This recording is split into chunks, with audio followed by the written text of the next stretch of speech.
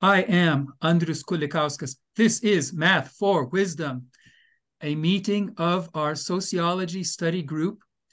And uh, we'll be meeting in two parts uh, because we're giving two sides of um, a topic of our growth, uh, which can happen consciously sci as scientists, but also can happen uh, unconsciously. Uh, we can leverage our unconscious. So the first part, uh, Aslam Kakar uh, will give a presentation of uh, deduction, induction, abduction, three modes of reasoning, um, which uh, the philosopher Charles Sanders Peirce um, distinguished. I will explain how that relates to uh, the language of wisdom, what I call wondrous wisdom, this language of cognitive frameworks. And we'll have discussion about uh, that. That will be the subject of this video, how we grow and learn consciously through a learning cycle of taking a stand, following through, reflecting, what Peirce calls the scientific method of abduction, deduction, induction. And then in a future video, we will have the second part of this meeting. We'll publish that where uh, Christer Nylander talks about how we grow and learn unconsciously through curious listening dialogue. So, welcome, and please, uh, Aslam, uh, I invite you to give your presentation. Thank you. Thank you, Andrius. This is uh, so kind of you, and uh, I am um, enjoying this uh, journey with you and our uh, new friends old friends uh, from our previous uh, discussions. Um, so my name is Aslam Kakar, as Andrea said. I am a PhD candidate um, in global affairs at Rutgers University. Um, my research is sociological, anthropological, so I um, describe myself as a sociologist. Um, and um, uh, it's so good to see you again and to meet uh, our new friends. Um, so, as uh, Andrius mentioned uh, in his letter, and right now, I'll talk about the modes of reasoning, the typology of reasoning by which individual um, and society um, approach, formulate their understanding um, of the world. Um, Andrius and I had a brief discussion two weeks ago, um, and then we decided to um, get a better understanding of, uh, you know, what does it mean to reason as individuals and as a society. Uh, and I think it is a good segue to my previous presentation on the grammar of sociology, in which I talked about concepts, theories, methodologies, uh, which I use uh, broadly um, um, to, um, you know, inform my approach as a sociologist uh, to social scientific inquiry. Um, and today I'm going to be a bit more specific um, and focus on the three types of reasoning, drawing, drawing on uh, um, Charles uh, Peirce's uh, philosophy. Um, let me briefly uh, say who Pierce was uh, before um, our friend uh, Samuel is here. Um, so I, I was saying, let me briefly introduce uh, Peirce um, uh, before I dig into uh, his philosophy of science. Um, I, uh, hi Sam. Good to see you. So be, be, I, I must say that I'm not an expert on Pierce's philosophy, but I'm a student uh, and a curious uh, seeker of understanding of truth. And while um, on that journey, I came across his name and I um, started digging into his work as to who he is and what he uh, what he did. So um, Peirce was the founder of American pragmatism. Um, and he, um, a theorist of logic, language, communication, uh, and the general theory of signs, which he called semiotics.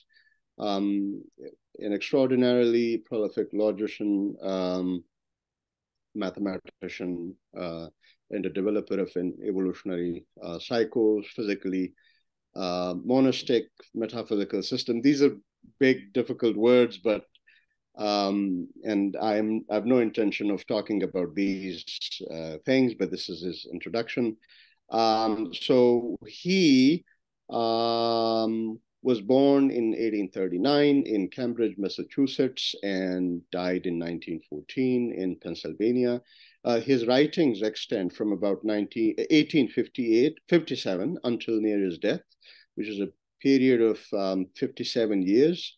His published works run to about 12,000 printed pages. There's a really good article on Stanford Encyclopedia on his introduction.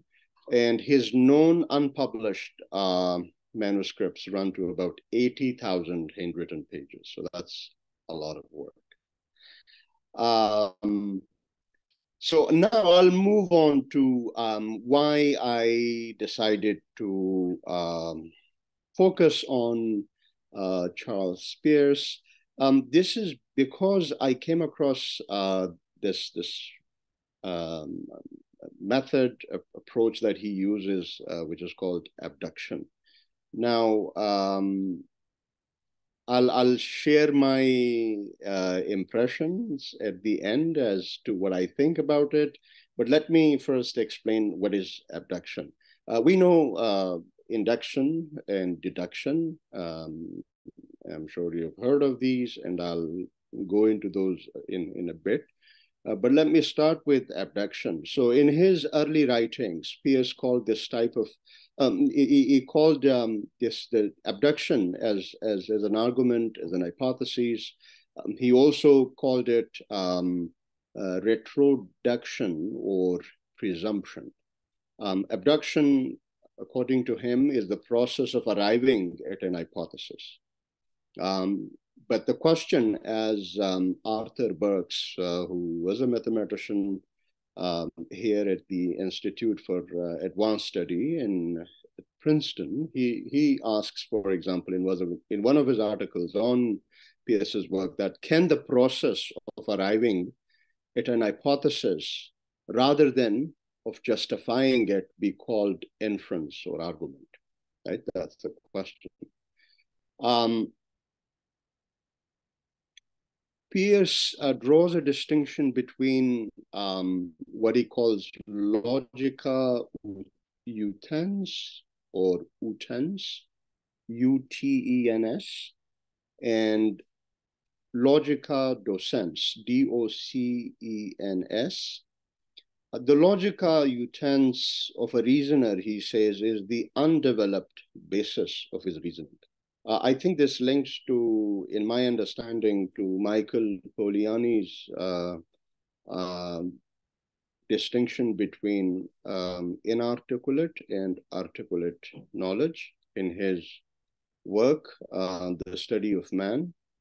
Um, so here, uh, Peirce refers to logica utens, you know, of a reasoner. He says it is the undeveloped basis of his reasoning. After careful and systematic study of the process of reasoning, one arrives at a logica docens, which is an improved and scientific theory of logic. So again, as I said, to me, this makes sense in Polanyi's terms as the distinction between um, our uh, inarticulate, like we all have a sense of the world, we have reasons uh, in our mind uh, about things in our lives around us, uh, but we may not be able to systematically explain, describe why we think the way we think. So that probably is the difference between articulate and inarticulate knowledge. So when we systematically study, we, we know the steps, uh, then that knowledge becomes articulate. Um, but I, in my mind, I think all of us think, we're all thinkers. Um, I think what makes us, what makes those of us um, different. Um, I mean, those who can articulate their knowledge um, is that requires a, a systematic, um, of course, understanding and practice and time and discipline. Uh, so this is this is um, what he means, I think, by logica utens and logica docens. Um, I will also be, you know, as I was reading his work, so there are like terms which I will try to define. So um, I think there are also I see connections between mm, between this uh, presentation and um, my first presentation in which I talked about how do we approach um, our understanding? How do we approach understanding the world? So uh, there is a term uh, called belief uh, that comes in his work. So he, um, as, as, a pragmatist, by pragmatism, uh, he refers to um, the logic of abduction and means by he means by it that it is a logical doctrine to be used in determining the admissibility of hypotheses.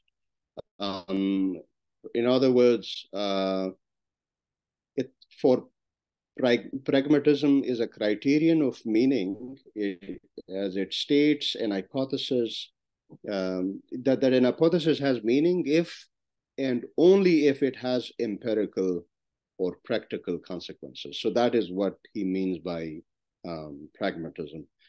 Uh, so he, as a pragmatist, he believed um, that a belief, or he held that a belief is a conscious habit of action. Um, and what we think is to be interpreted in terms of what we are prepared to do. Um, similarly, he, he held that genuine doubt comes about when an actually functioning habit is interrupted until a belief habit is actually interrupted, there is nothing which can be subjected to scientific investigation. So um, it, it makes sense to me. I think uh, doubt uh, is, I, I, for me, at the foundation of, uh, I think, uh, a, a, human's epistemology. Uh, so it, it, it I can see the connection between what he says and the way I approach my understanding of the world uh, or, or the questions, I mean, my own work. Um, so then he says that um, has said that every inquiry whatsoever takes its rise, you know, in the observation of some surprising phenomenon some experience which either disappoints an expectation or breaks in upon some habit of expectation. So this is where the his idea of abduction comes in. So uh, Peirce's, uh, and, and he uses the term uh, evidence, evidencing process um, as expressed through abduction uh, which involves a method for reasoning and decision making that focuses on generating the best possible explanations or hypotheses to account for the observed uh, phenomena. And the steps of the evidencing process are surprising phenomenon, phenomena or phenomenon, as I just said, that something that disappoints the expectation or that um, surprises uh, us and and um, and then he says that the next step is the formation of hypotheses and then the evaluation of hypotheses in which he gives three uh, criteria. Uh, first, economy, uh, how economical uh, an hypothesis is, uh, and its plausibility and productive power, right? So, which can be observed again and again.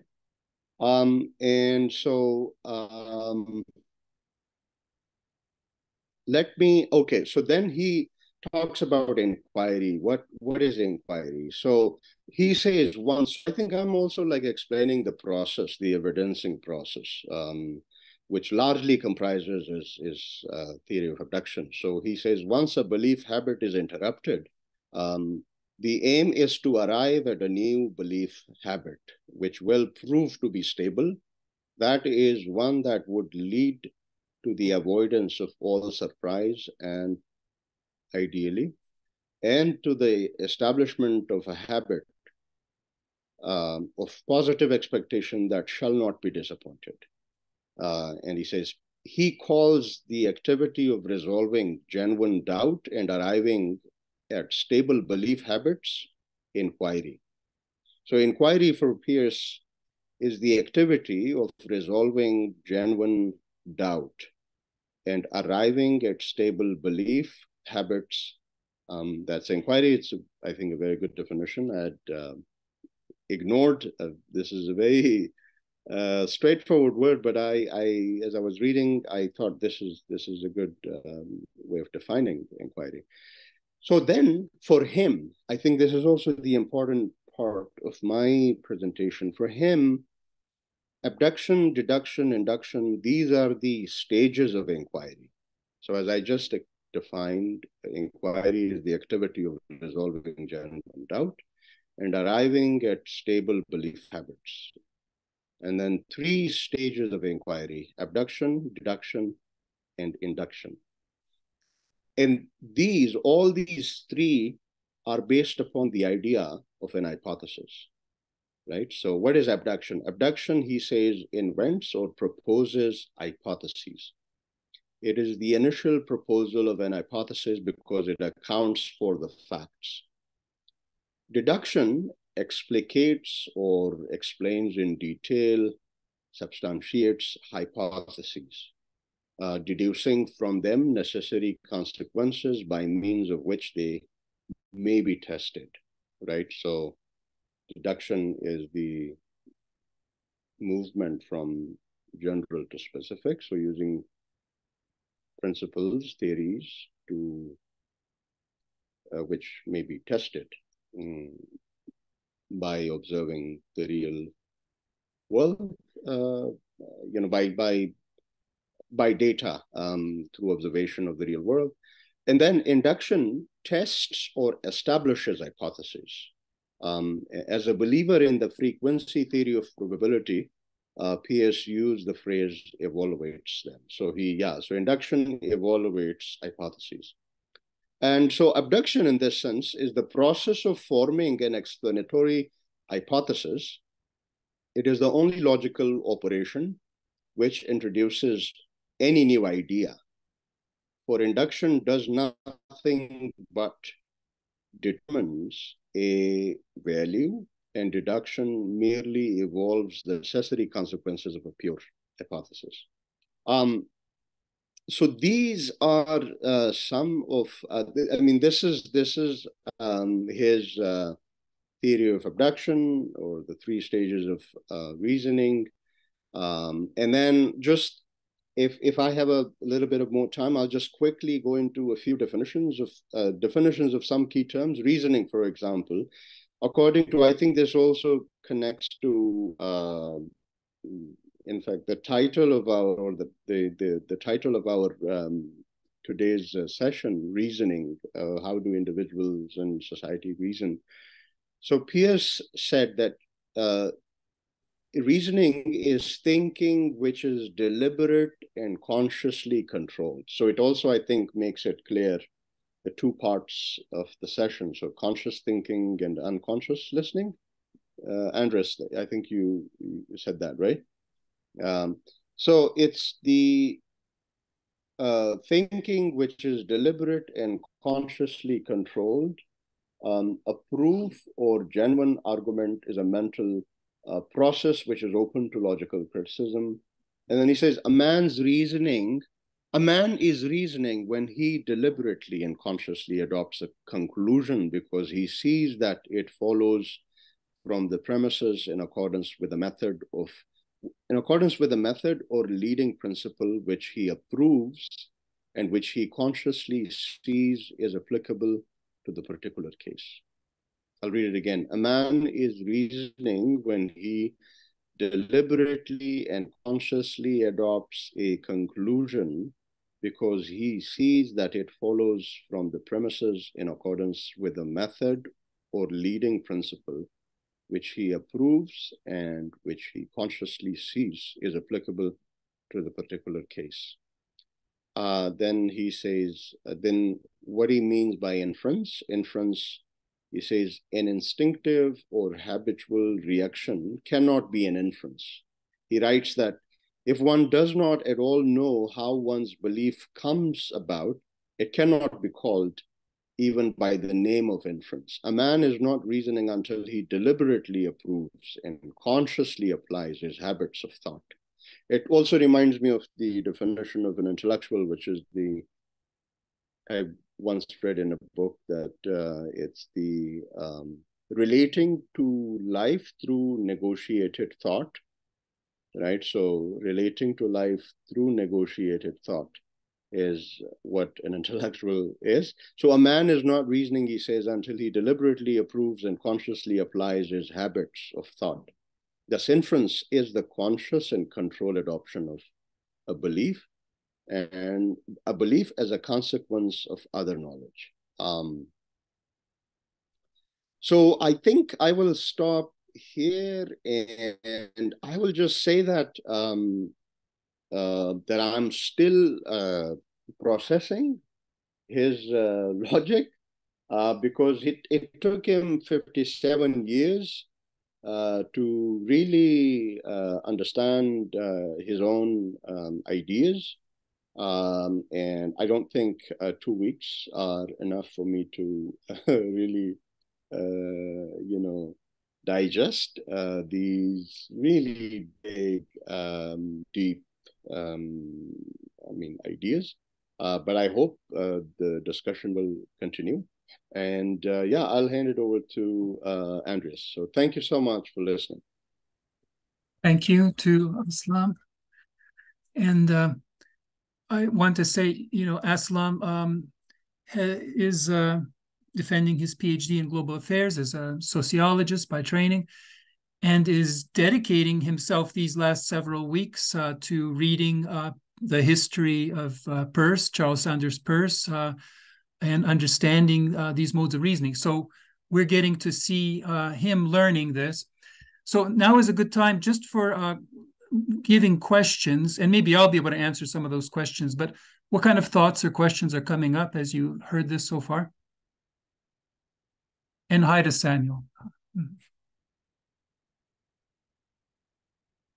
I'm going to uh, explain um, deduction, induction, abduction, these modes of reasoning uh, of themselves, but also as cognitive frameworks. Okay, so why don't I proceed with that? I'll share my screen. Um, and I think part of the power of what I'm trying to say, maybe um, maybe uh, Aslam will be able to testify to this or not, um, but that once we have a language of wisdom, a language of cognitive frameworks, it becomes possible to have like a set of keys to open up all this knowledge. Okay. Can you see the picture of Charles Sanders Pierce, Peirce? Yes? Okay. So let me start. Um, let's just go through deduction, induction, abduction. Um, wh what do they mean? Okay, so these are three types of reasoning. And one of them is absolutely certain. It's the it's it's the reasoning of logic. Oh, hi, Jerry is here. So let's say uh, you can see the picture here that all the beans from the bag are white, and let's say that that's true, right? Well, then just logically it follows that some of the beans from the bag are going to be white. If you just take some of the beans, since all of them are white, then some of them are going to be white. It's not even very interesting, but that's a type of logical thing. And when you have when you program computers, uh, they can be using that, for example. So that's uh, in terms of certainty. Now, induction is um, a different type of reasoning, almost the opposite type of reasoning. Okay, so if you take out one bean, it's white, another bean, it's white, a third bean, it's white, a fourth bean, it's white. Basically, you see that some of the beans from the bag are white. You get this idea that maybe all of the beans from the bag are white, right? That's called induction. Now, and we use that all the time. So, like the sun came up this morning, the sun came up last morning, the sun came up a million mornings. We're kind of expecting it to come up tomorrow morning, right? But that's an inductive truth. That's not necessarily logically true. And so there was a huge revolution in thinking when David Hume, the Scottish philosopher, the skeptic, said, Look, you don't know that the sun is going to rise tomorrow, right? All you know is because of induction, okay? But maybe you're going to find a bean that's not white, right? Maybe, maybe you know, there's going to be black beans or kidney beans, I don't know. now, so deduction comes back from Aristotle. He used this, uh, you know, he just kind of made this very clear logically. What are the rules that work?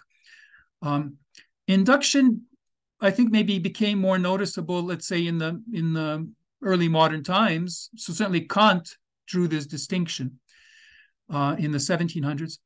So Pierce Peirce brought up this idea of abduction because he was talking about the scientific method. He goes, you know, there's another way that's important. He was trying to make sense of the scientific method which is um, you have a hypothesis, you do an experiment, you look at the results, you go back to your hypothesis, you have this learning cycle.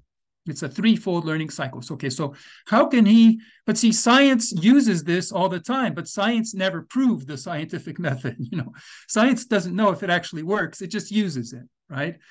So that's one of the reasons. Um, maybe nobody can prove it, but like that shows that science isn't really able to do everything. So Peirce was a great scientist, and so he thought, okay, what do we what's missing? He said there's this missing is this thing called abduction. And like Aslam said you know how do you get your hypothesis? And he gave a nice example. He said okay let's say there's some beans near the bag. And you go oh i bet you those beans came from the bag right? Now that's not logically certain. And it's it's it's you don't really have any evidence for that. That's just a good guess and the more you look at the beans, you see, you say, oh, they're white. These beans are white. The bags in the the beans in the bag are white. These beans are round. Those are round. These are smooth. Those are smooth. Right? These are the certain signs that say. None of that is actually evidence, but it's um, all supporting a guess.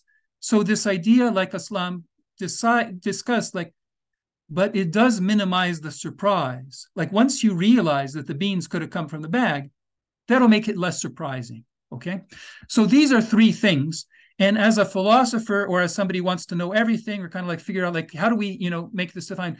The idea is to try to make these very well defined, to try to be able to explain why those three are there more or not. You see? So are these just invented methods or are these discovered methods? Have we discovered all three or are there more to discover? So we have this, uh, I, have been developing this language of wisdom. This is the whole point of Math for Wisdom is to try to learn this language and maybe see where it happens in math, uh, which would be very convincing, but also see where it comes up in different thinkers, uh, which maybe isn't convincing enough, but uh, is still very cool. And so these are the ABCs. So the crucial one for today is you take a stand, you follow through, you reflect. It's the learning cycle. It's basically like the scientific method. Now, you know, is it different than that or not? And so these, uh, it's this is the threesome right here. There's eight frameworks like that. And when you get to, the, I call them divisions of everything because, you know, you could have, let's say, your global workspace in your brain. It could be divided up into three ways of thinking, like taking a stand, following through, reflecting. Or it could be carved up into four levels of knowledge, or five levels for decision making, or six for morality, or seven for logic. When you get to eight, the whole thing collapses. So you go back in a cycle. And so there's this, and this is, of course, hypothetical, but uh, I'm building up evidence for this that you can do reflection and add up perspectives and shift along this eightfold clock. So, like if you add one perspective, that's this operation plus one, I'm saying that's the unconscious. Uh, that's just a reflection. If you add two perspectives, that'll be awareness.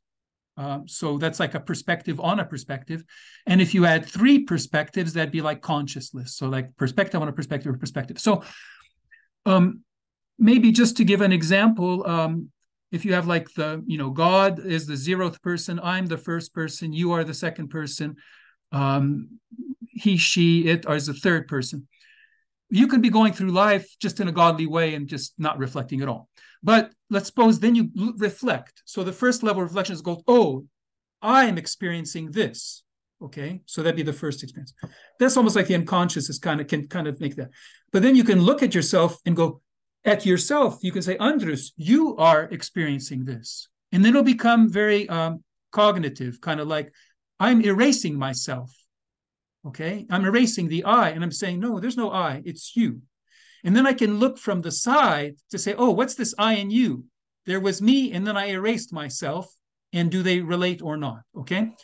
So that's also a threesome, and you'll keep seeing more and more threesomes today. But it's like having three minds. And so some of this is actually psychologically uh, quite uh, founded. Um, although I, I, came, you know, I, I, developed this independently, but there's a Nobel Prize winning psychologist. He won a prize for economics, uh, Daniel Kahneman. He worked with uh, Amos uh, Tversky.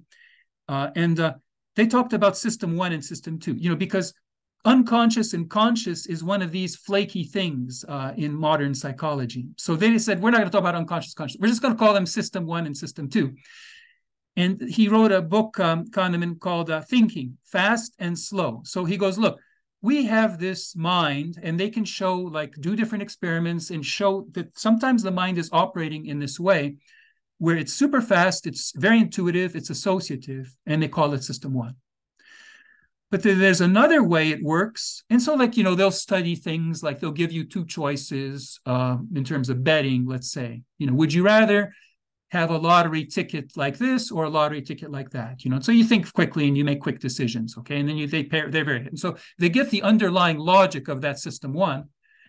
But if they change it a little bit differently, maybe they have you a little bit to pause to think about it or whatever, you know, you can get different results. You get rational results, slower results, conceptual results, deliberate results. Okay. Now I'm saying there should also be a system three. So in my picture, I'm saying, look, you have a because based on that logical, when you divide everything into seven parts, you're going to have like a logic. For a logic, you need two minds: a mind that knows all the answers, but a mind that doesn't know anything but's asking questions and then they come together. So like logic is balancing like what is and what is not, let's say, for example. So in this logical balance, or will it's a notion of dialogue, as Christer will be giving us, uh, you know, later. I'll try to be brief, but uh, the unconscious um, is just uh, doing things associatively. It, it's like the Google mind. You know, what's your favorite ice cream? You know. How do you know? Like your retina works. What sees lots of things.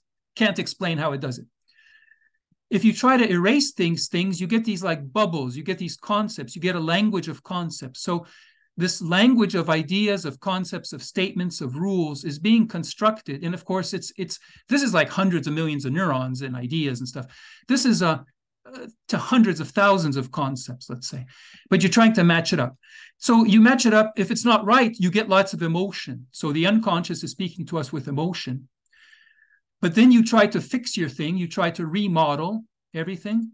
And what the consciousness is doing, the consciousness is holding the brake. The consciousness says, that model's not good enough, that model's not going to work, that model, goes, but then says, now you've got it right, I will hardwire it. Okay. So it's kind of like that third person looking at the side at this dialogue between the I and the you. It's saying, okay, now it, you're going to be at peace. I will hardwire it. So this is just a model. Um, I think it's a attractive model. Um, so we're going to relate this uh, just in terms of Peirce because he had very similar. You know, I've got my three sums, he's got his three sums. So where are these coming from? We're both very much influenced by Immanuel Kant, and he has this uh, wonderfully difficult book, uh, Critique of Pure Reason, um, which Peirce studied for years. You know, and I studied uh, for a whole year, and maybe it's one of the few books I've actually read, uh, but uh, it's fantastic. So. Kant tried to, and Kant was dealing with this challenge that Hume said. He goes, Look, you don't even know if the sun's going to come up tomorrow. You don't know any of these facts, right?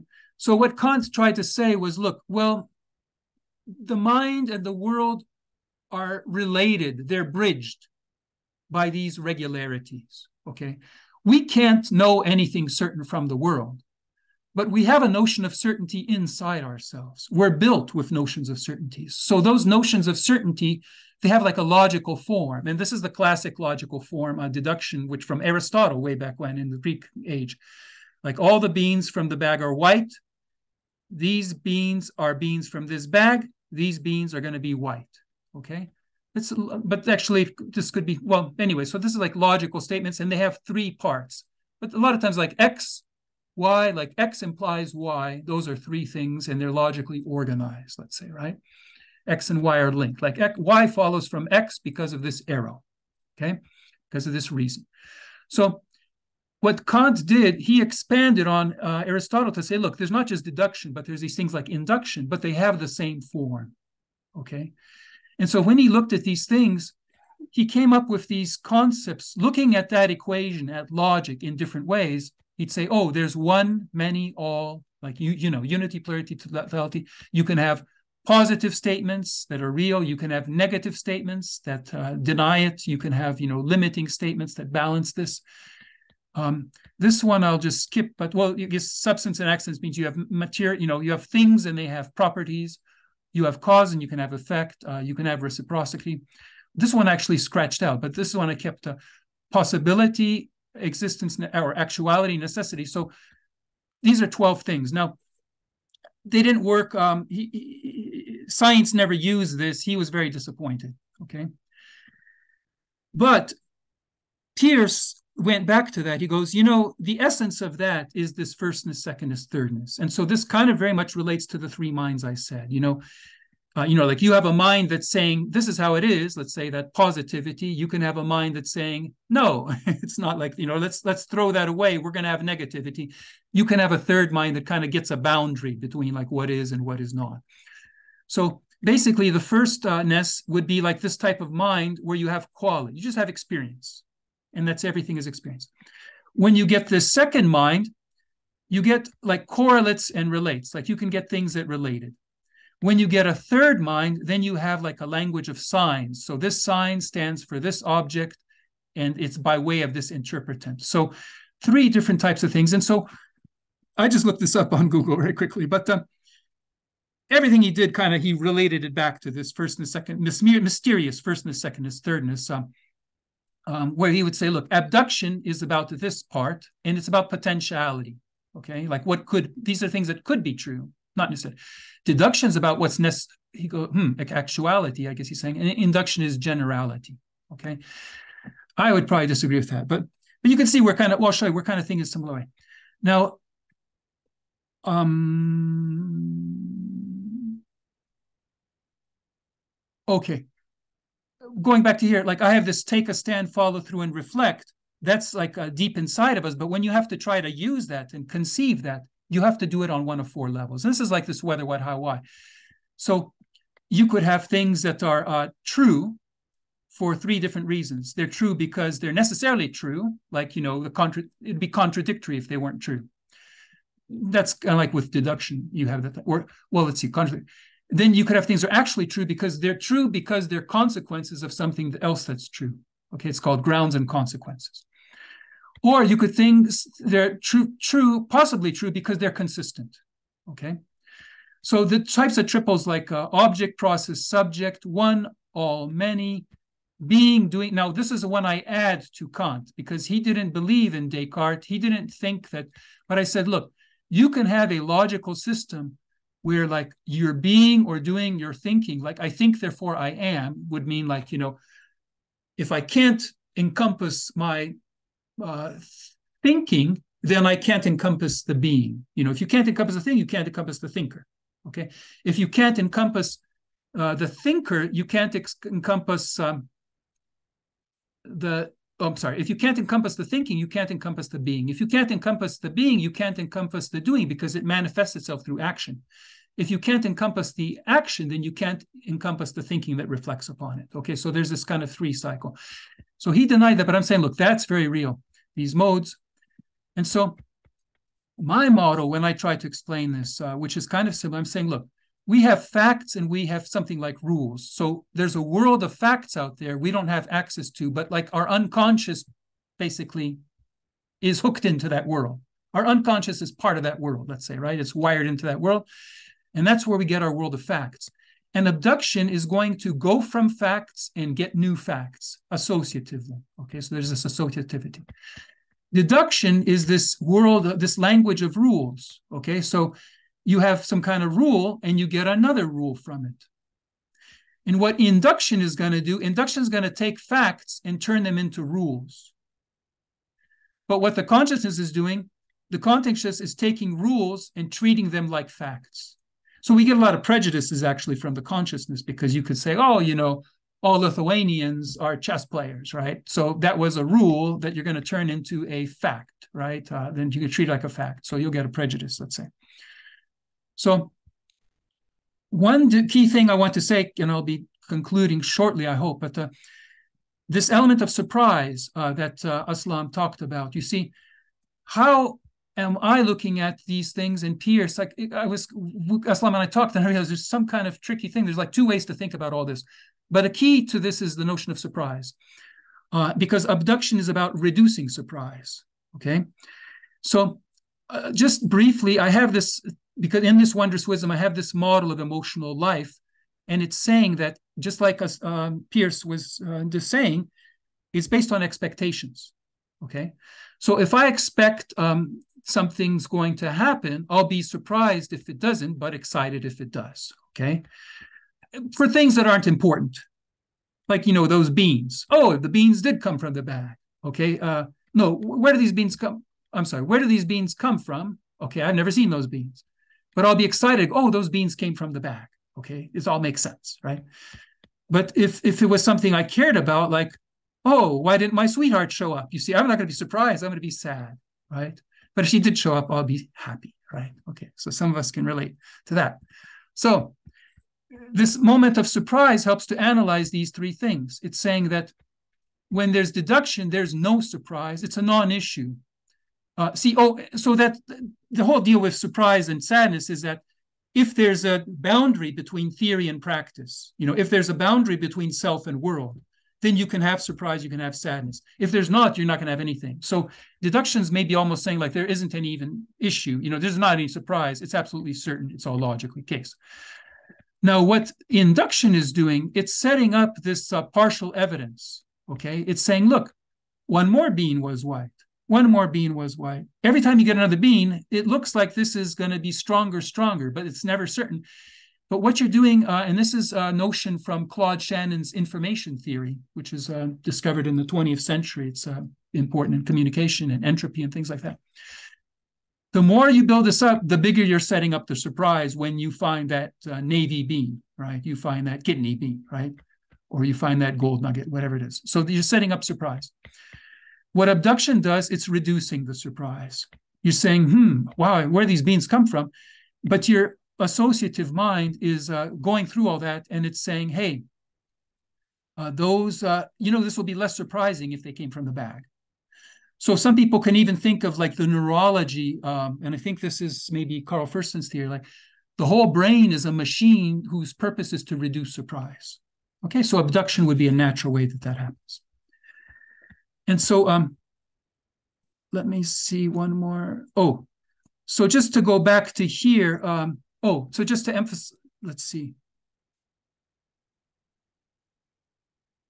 Okay. Oh, I just wanted to mention like, so facts are becoming, so what the beautiful thing about wondrous wisdom is that it can maybe explain, you know, as Kant was trying to, or Peirce was trying to do, why are there only three kinds? You see, why are there not more kinds of reasoning? It's saying, well, really, there's a fourth kind, but we just don't notice. The consciousness binds things. Okay. So it's not even reasoning. It's kind of like, you know, um, it's just happening unconsciously.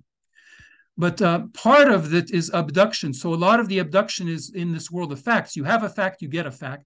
That's happening mostly unconsciously, but sometimes we become aware of it, right? Or we can kind of like use. So, for example, Krista will talk about how can we use this. Maybe that'll come up in the dialogue. Induction is turning facts into rules. Deduction is taking rules into rules. Consciousness is turning the rules, treating them like facts. So finally, and this is the last slide, um, saying that um, it's really about experimentation. But what I realized was that Peirce and Andrius are thinking about very different experimentation in very different ways. In both cases, it's about taking a stand, following through, and reflecting. But see, when I'm talking about this three cycle, I'm saying it's not a matter of knowledge. The knowledge requires the foursome. The knowledge requires four levels of knowledge. The knowledge requires us to imagine that there's something beyond us, this knowledge that we can access. But see, we can do learning without any knowledge because we are able to program ourselves. You see, we can hardwire ourselves. So when you do an experiment with yourself, uh, you're maximizing your own learning uh, just by changing yourself, by adapting yourself.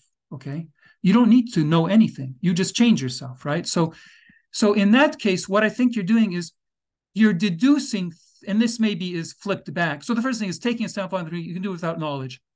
What what um, Peirce basically said was hey but in the case of knowledge you see you would start with hypothesis like your best guess that your unconscious gave you. Then you would um, make uh, use your deduction to figure out a nice experiment. What would be the experiment that would really kind of make it logically testable, right? Okay, put it to the side. Then you would collect evidence and draw the conclusion in favor or not. That'd be the induction. Okay, so you get a great idea, curious idea. You set up an experimental de design. That's where your deduction is taking place, and then you're um, using induction to get the results, reflecting.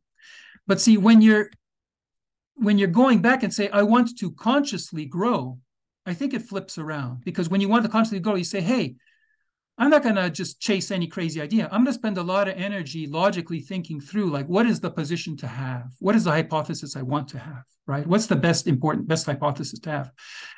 Then when I want to experiment, I'll be experimenting on myself. I'm going to come up with all the kind of different paths that it could lead me on. You see? All the, so I'll be using abduction to experiment with myself. Basically, I'll be experimenting with my unconscious. Then I'll reflect on that. Okay. So in our case, uh, we're perfecting ourselves. We are the experiment. We're maximizing learning. But Peirce is talking about the scientific method. Um, so he's minimizing surprise. Uh, we are not the experiment perfecting our knowledge.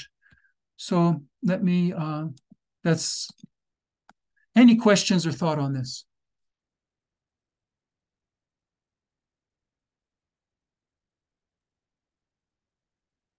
Uh, Chris, you're smiling. I don't know if that's, are we happy?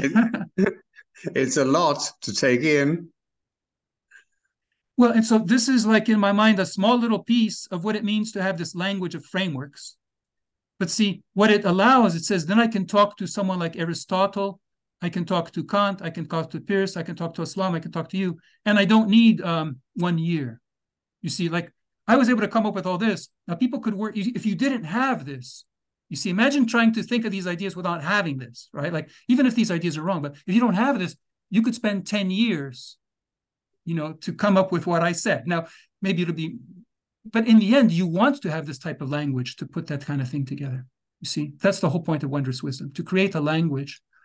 And so it's also exciting for me. Like a lot of this was done independently, but then I read about Kahneman. I go, oh, he talks about system one, system two. I bet you it's this. I bet you it's that. You see, so to be able to relate modern psychology or, or Shannon's theory, for example, Shannon based on surprise, you know, it turns out, oh, surprise. I know who talks about surprise. So one of the nice things is that this is something that tries to harmonize different people's ideas. I'm not there's not a single person here I said, you know, oh, I don't agree with them. Well, I kind of maybe could disagree with Peirce, but you know, mostly I agree, but on small points I might disagree, you know, but I could try to explain why. You know, turns out maybe he he has his reason to talk, you know, turns out I'm talking about different things. That's the typical thing, right? So maybe um we could I need to take a short break, but um, why don't we uh, give you a chance to um, talk to each other? I'll take a three minute break. Um, then you'll have a chance to ask questions, but you don't have to. And then we'll proceed with the dialogue part. Is that fine? Okay. Okay, then I, I give myself a break. That was, you know, I have to I have to go back and watch the the video, of course, the recording. Uh, what do you think, Sam? You know, I I heard this thing a few days ago about how um, it takes like several dozen or even upwards of a couple hundred different attempts to create and solidify a new neuron in our brain. Unless it's done through play, then it only takes like three or four attempts. And I thought that was really interesting. I don't know if that relates to this discussion of knowledge and whatnot, but the attempts to retain knowledge it seems to uh, according to the study is more effective if you learn it through play rather than just um you know grinding at it. Interesting. So, like you play has several meanings. What in what way well, I think it's just meant that like you're having fun while you're doing it, right? So if you're having fun, your ability to retain the knowledge that you've gained when you're having fun, you know, it only takes you a couple repetitions to learn something versus if you're not having fun then it might take you several dozen or maybe even hundreds of attempts to try to like solidify that knowledge you know interesting that's, that's very interesting insight. I, w- I was thinking about i've written metaphysics um, and the theory of everything and how a universe is, uh, comes um, by. And so and i was wondering what did i do? Because i i thought i was using just logic um, that if there there had to be a creator and if there is a creator that could not be limited so it has to be infinite in every way um, and from that i reached the conclusion that it has to be infinite fast uh, for example, and have infinite consciousness. So, what what kind of reason? What what did I use? Was it deduction or abduction? Hmm. Andrius. I think, um, yeah, I think that's a nice example. Like, I think you're riffing with abduction, right? You know, you found some beans. You go, you know, those beans must have come from that bag, right? So, you know, like you, you know, like you're saying, oh, uh, this happened, so you know it has to happen infinitely fast, right? Well, that's a jump, right? like it could be, of course, it could be true. That's where we get ideas from. But so this kind of leaping, leaping, leaping, right? Like um, that's associative thinking. Um,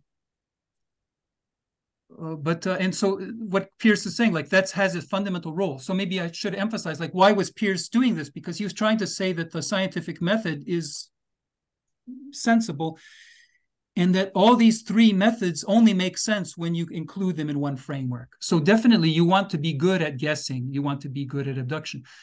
But if you have a system that's only guessing, like uh, that is not going to be uh, something that anybody could lean on. You know, becomes very personal, private. It's only your brain that thinks that way.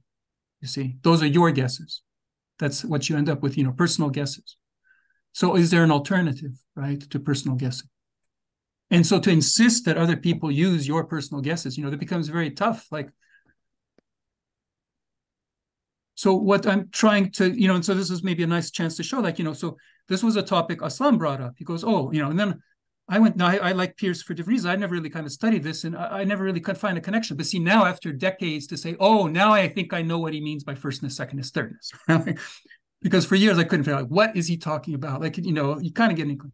So this idea that oh, people can be on the same wavelength, you know, people can have the same mind. It's a little bit maybe uh, like um, uh, I overheard Samuel say, oh, like what makes things more fun? So like with music, you have uh, scales, let's say, right?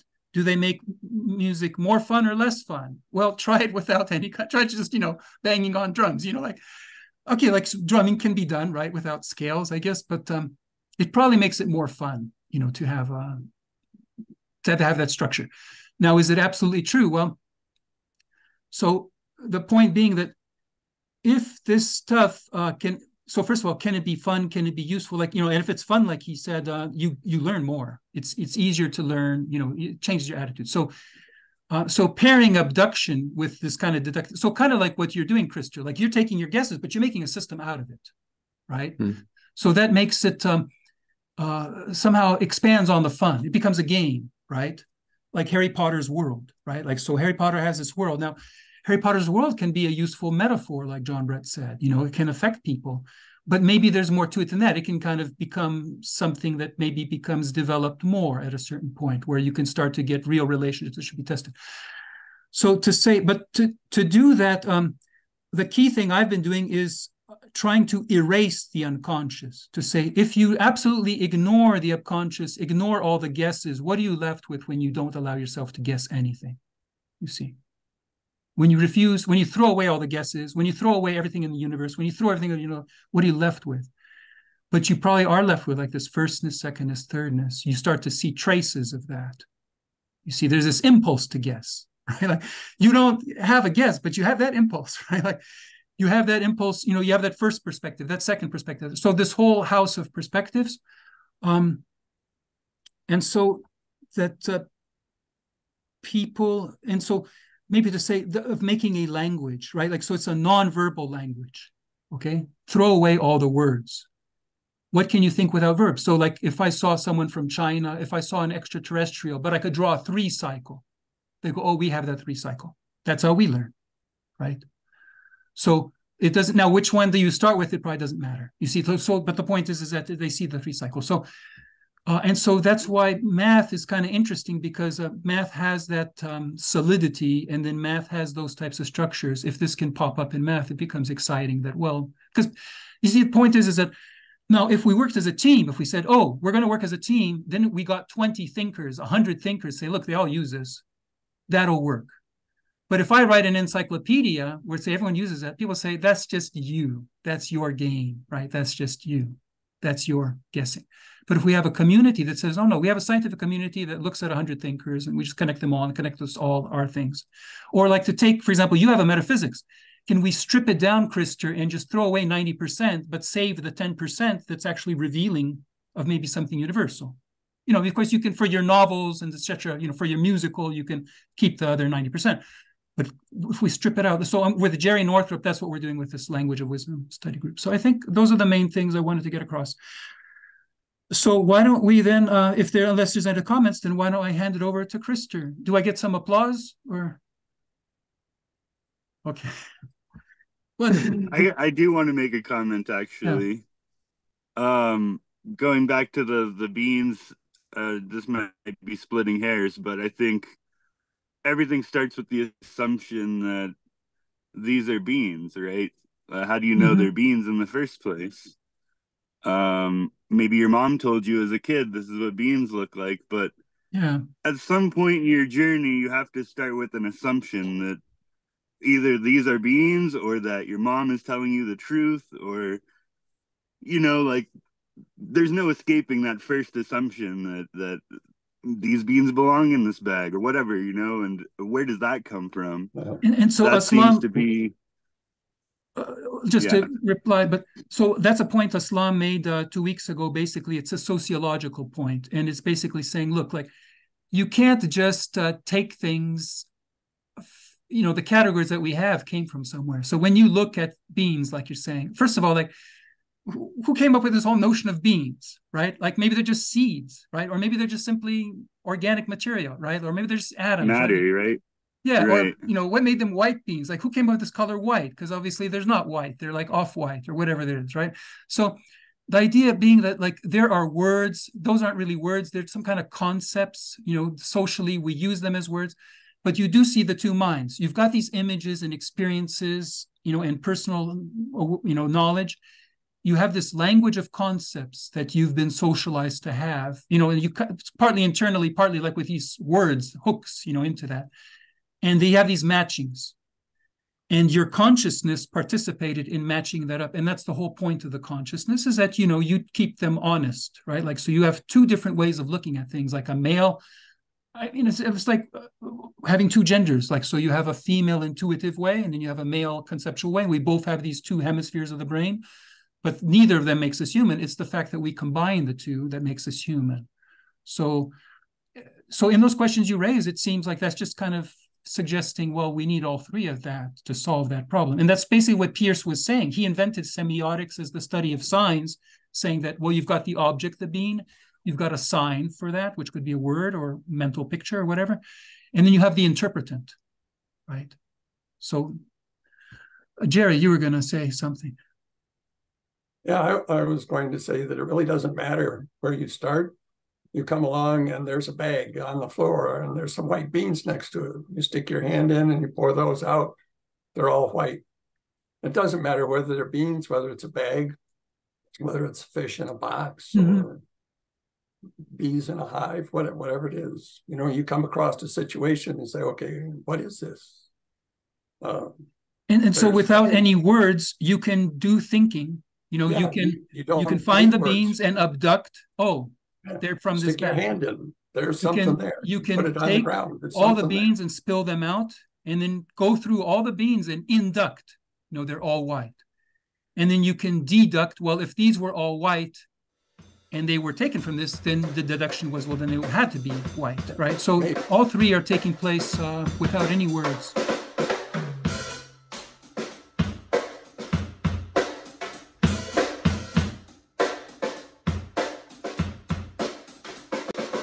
Thank you for watching this video. Please uh, go to mathforwisdom.com or simply read the description to this video to learn how you can join our Math for Wisdom discussion group and our study groups. Thank you for liking this video, for subscribing to this YouTube channel, and for supporting Math for Wisdom through Patreon.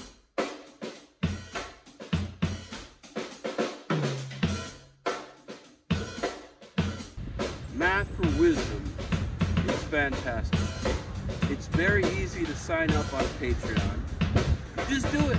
You go to the webpage,